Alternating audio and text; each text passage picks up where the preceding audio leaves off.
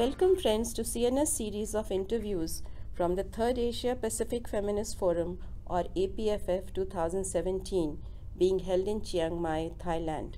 APFF 2017 is organized by the Asia Pacific Forum on Women, Law and Development or APWLD.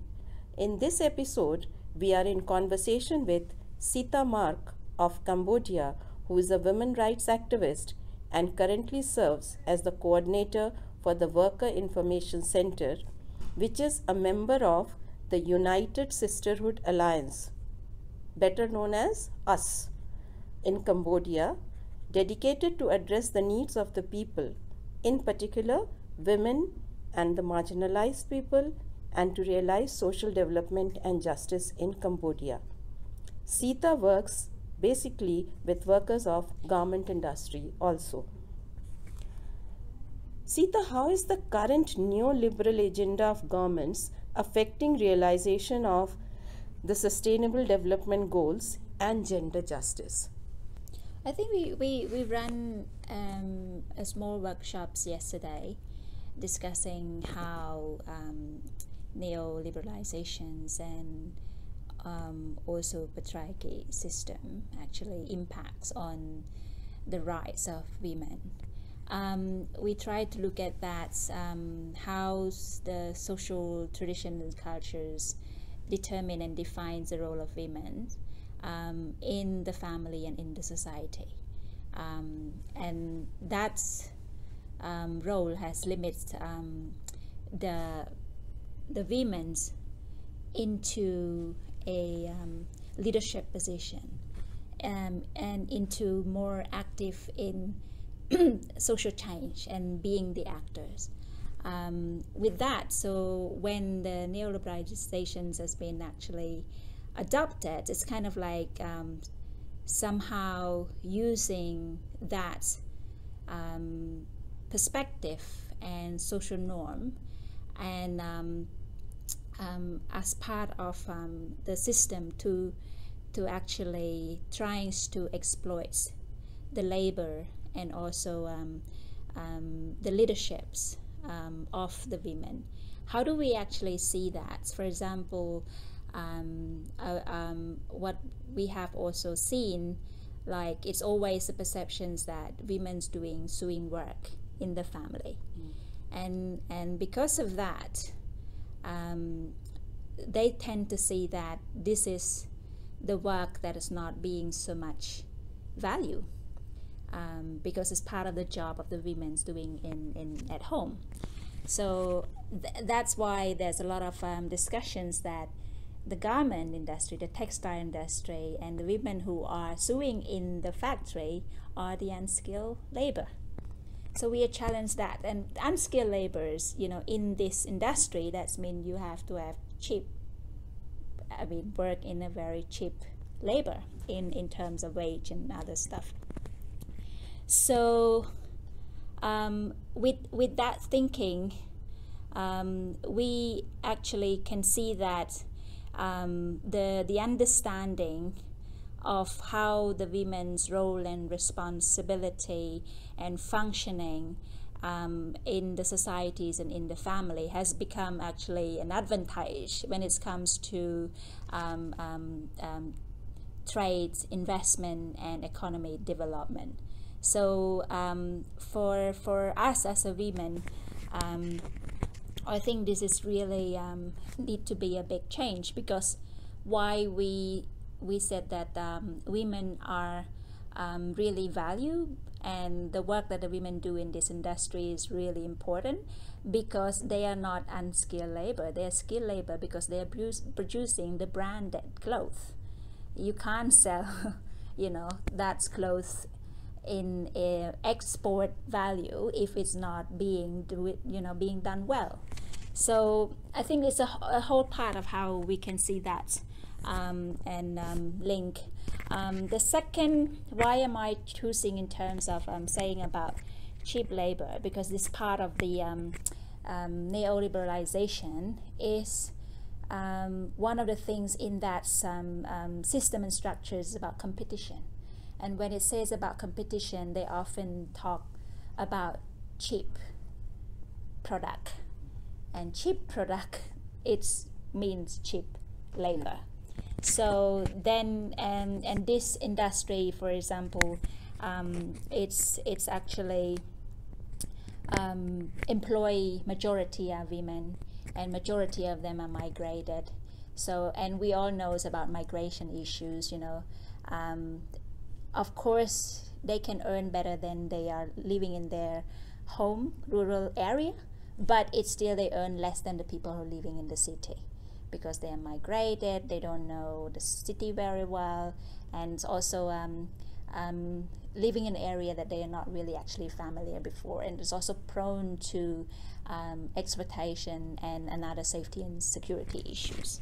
So it's part of like the whole things that we are um, looking at how to ensure that um, the mechanism are in place for the women to really um, feel safe and secure and in the condition where they work um, at the decent, you know, uh, working um, condition and um, earning um, the decent wage and live with dignity.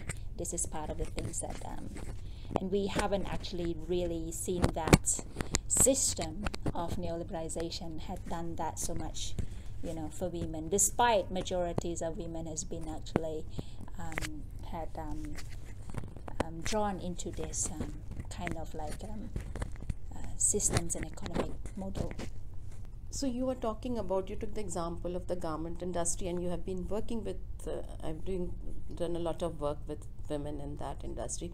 Would you share a little bit more about your experiences uh, and the problems which the women in the garment industry are facing?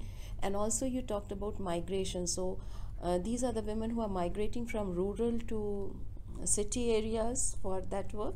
That is uh, migration within the country which is happening. Could you speak, tell us a little more about these garment workers? The Worker Information Center has been working, um, you know, um, as an um, an association since 2009. But before that, we are we one of the project of Women Agenda for Change. So we've been working with the um, workers in the garment, you know, textile industry for quite a long time. Yes, um, these women, I mean, um, the women worker are majority migrated from the rural area to the city. Um, many of them actually drop out from schools to seek jobs, so then they can actually contribute economically to their own family um, at the same time to um, earn a living for themselves. And the factory job is their first job. And majority of them are actually migrated, um, you know, like about 90% of them are migrated from a different part of the country.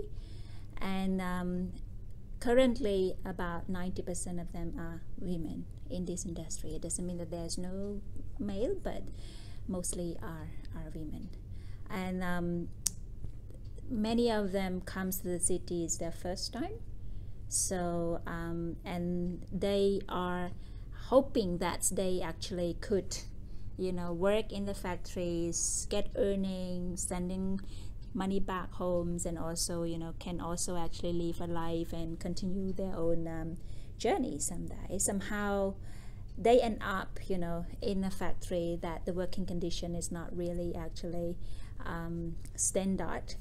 They have to work long hours, 8 to 12 hours a day if they do overtime, and um, six days a week. Um, somehow with um, low wage, even we recognize that our government um, lately has been, um, I think since 2014, the government had initiate a tripartite, you know, um, um, negotiations for minimum wage. So since 2014, the minimum wage has been increased every year after the the, the um, um, stakeholders had the meeting. Um, however, um, their living situation has yet been really actually um, going better because every time the minimum wage is increased, the cost is also actually increased. Um, in terms of rent room fee, in terms of um, waters, in terms of food and other you know necessary that they need for their living.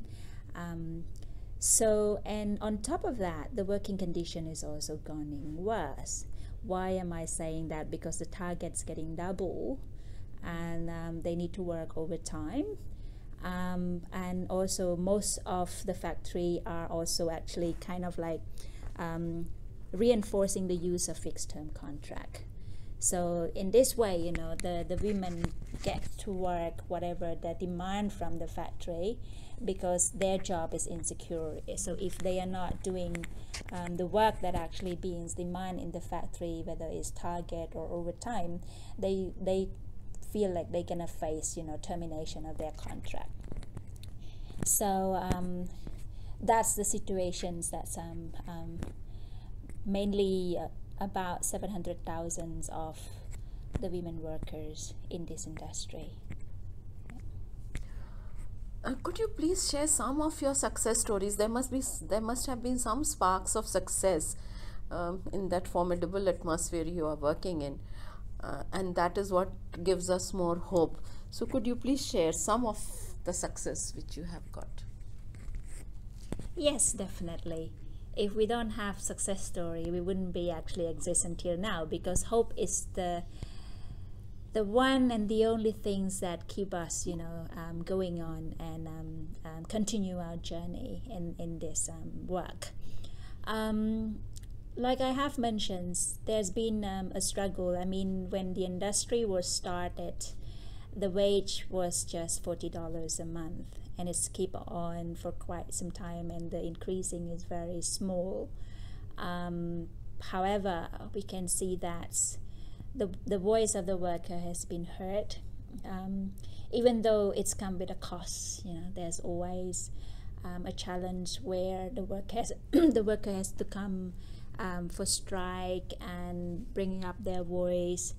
Um, anyhow their voice has been heard and uh, we can see like i shared earlier about the minimum wage that keep increasing.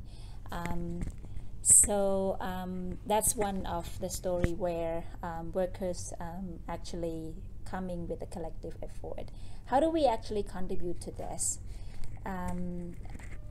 Our work we are running um, a drop-in center where we call it like a safe space for women to come together um, like I mentioned earlier, majority of them are migrated and they are not having all the time in the factory to actually connect and talk because they have to really, you know, work mm-hmm. and work fast. So we create this um, space for them to come together so they can be connected, they can be sharing, um, you know, how things, you know, um, going on in the factory, how's things going on in their living area, what are the challenges they, they face, and they exchange that and what they can do together on the challenges and difficulty that they are facing both inside the factory and outside the factory. On top of that we also actually this space is for them to actually access to information for example in terms of get more about the labor law the uh, and any other awareness related um, reproductive health and also um, other related laws and policy and regulations around um, workers' rights, women's rights, and um, um, also as a citizen so then they can actually be part of the society because they are playing significant role in our country. Despite you know people see them as worker but this industry actually contributes significantly to our national economy.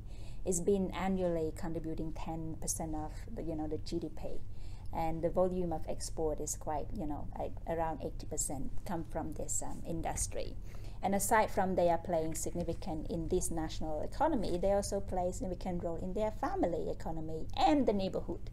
Because wherever they are, they are actually paying for the rent fee, buying the water, buying food and stuff like that. So they they they are which is our government also say the women and this you know um, worker are the backbone of the economy. Despite that, they are not really yet living in a good conditions and um, the society as well as the state need to really actually um, take um, seriously um, into consideration on how to provide protections and safety and security and ensure that um, all of these women are living in a good condition. So what we work is about creating that space for them to also exchange the experience, learning, at the same time collectively take actions um, when the issues um, in the factory and also in the living area come. Um, for example, um, we have um, taken up an issues um, in the living area when the rent room fee was increased. Mm. so they, they couldn't, you know, pay anymore. So they approach and then we create that space. We facilitate them to discuss why and how things like that and what they want to do together with the landlord or with other actor similarly with other issues related to electricity access to electricity um, so that's how and and there's many um, success story around that. When they come collectively they have the power to negotiate. They have the power to dialogue. They also have the powers to also engage with the local authority as well. Um, and another actually um, um, things that we uh, take up on, we also actually engage in some of the factory case too. Like I think um, in the 2016, mm. there is a case where um, one factory that's the worker had been put into um, like suspensions and only pay for the 50% minimum wage so after some time, you know, they cannot survive because even with a hundred percent of wage, they can not still survive. But fifty percent is really very difficult. But they, they, they try to survive with mm-hmm. that for some time. But until they cannot do that anymore, so they comes together, um, discuss about the issues, and we create that space for them. We facilitate and do analysis together with them and take approach from there so engaging with different actors and there was a response you know from the buyer mm. in in a way that they are actually involved and engaging and um, discussing with the factory and the factory does you know do the compensations mm. back to the worker for the whole like nine months that they've been actually um, paying the worker for 50 uh, percent minimum wage. Mm. So this kind of like success stories kind of like keep it up. We, we have some more. Um, however, for us, this success um, to keep us that um, momentum. At the same time, we still want to take a step where we really want, um, you know, um, the change in in a way that's not look at only case, but really kind of like uh, taking to account to ensure that this type of situation are not happening. Like the violations of workers' right and labor law is not happening. And the labor standard will be applied and re, you know enforced in the factory and also to ensure that the access to basic services for, for, for the women worker are there. Um, and um, I can say that despite some challenges that we are having like we are facing right now in Cambodia politically um, I still um, can actually say that we are also um, um, pleased with the Cambodian government, especially recently, our prime minister announcing about um, um, the access for free healthcare for the women worker, mm. starting from 2018, and also the regulations of the water, you know, um, fee um, um, for the the worker, and and also trying to set up or um, closer clinics, like you know, set up the clinic that close to the factory. Because they couldn't actually, you know, go to the um, hospital where the National Social Security Fund has been um, um, partner or having the agreement because it's too far from their mm. factory. So they often use private clinic mm. and that's actually very very costly. So we can see that this move, you know, of, of the um, government to some extent respond and we can see that the the voice and the workers um, voice has been heard and considered. Uh, however we need to also continue to monitor that whether it will be happening and whether the women worker will have all of those access. And at the same time also we are um, the worker you know um, we'll work closely with the local authority to ensure that you know those services will be provided um, and the women will be protected. Um, yeah, I think. What are the minimum wages now?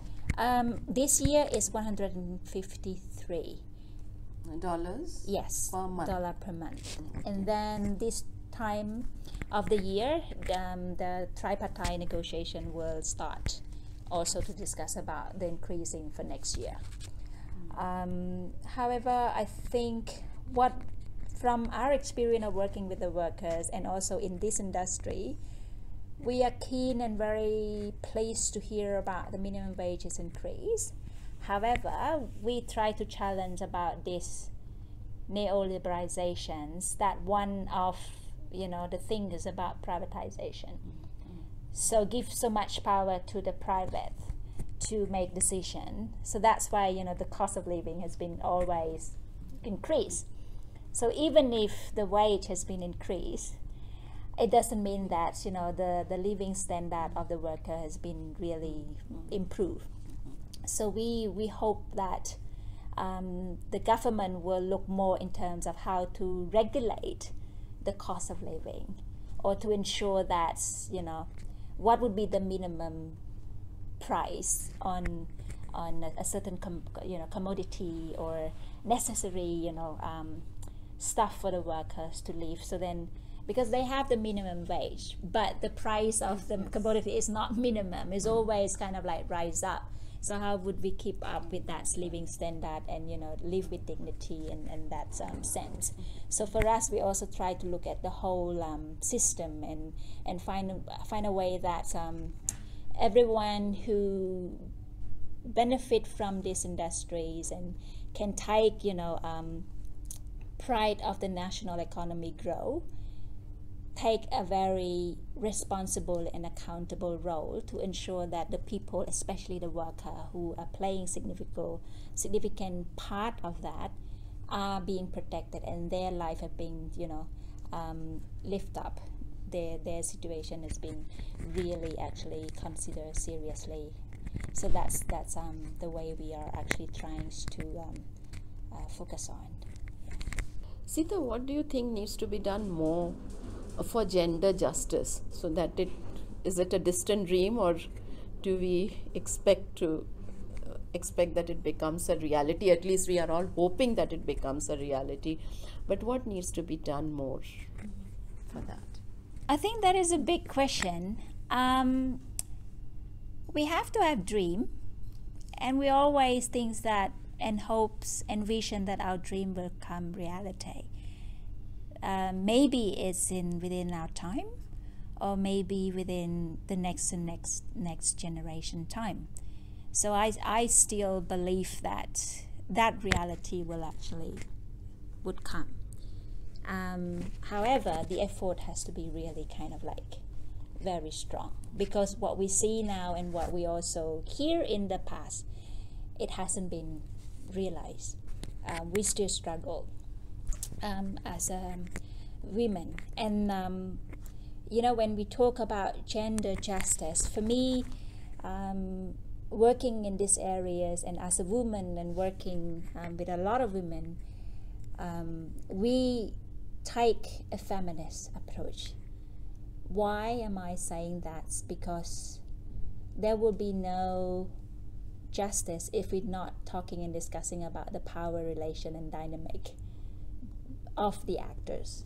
So here we talk about males and female when it comes to gender, but it's go beyond male and female, you know. So we try to look at um, whoever the actors that playing, we tries to kind of like um, challenge the dominance of powers and ensure that there is a space and a models of collective powers so that every voice can be count so that every um, um, um, identity has been actually included in the process because we are very very different.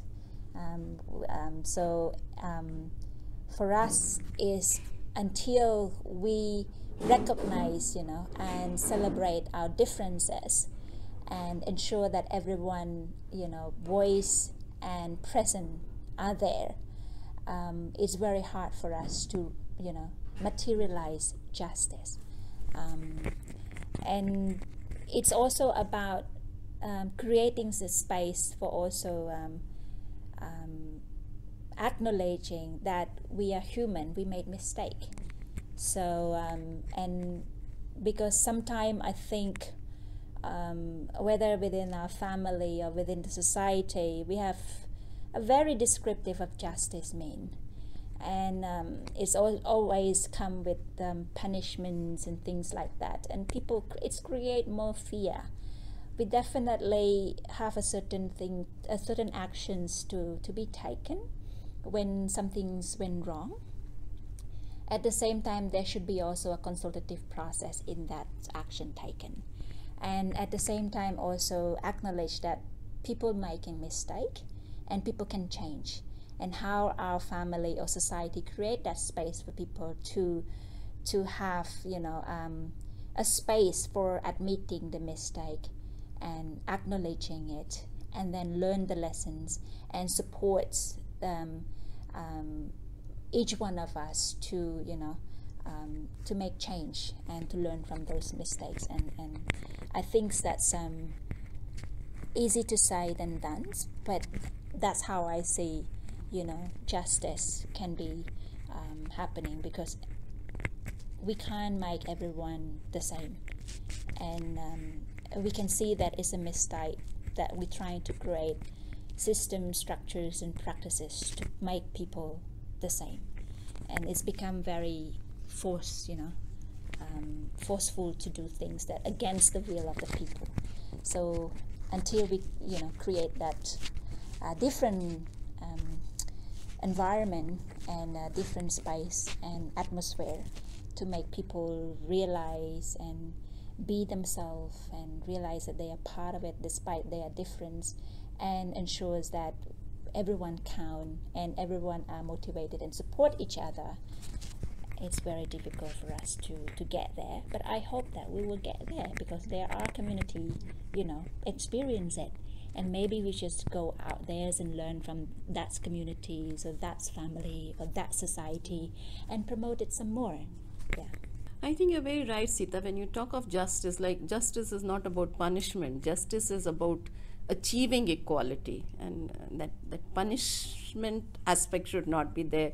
Very often be related with justice. Uh, that, that that's a very apt remark. And my last question now, Sita, what does APFF mean to you and to the people you work with?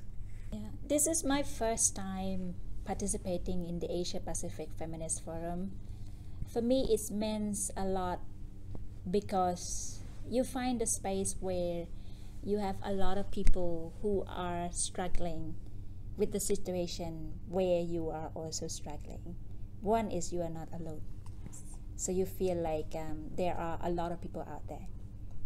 Two, it's not that the struggle that you have you have hope you have success story and you had been gone through so far you know from the situation where we were um, facing and we make a move and there's success stories there's some changes we know that the struggle is still continue but at some point it's a space for us to celebrate success and to also feel connected and move together again in the future.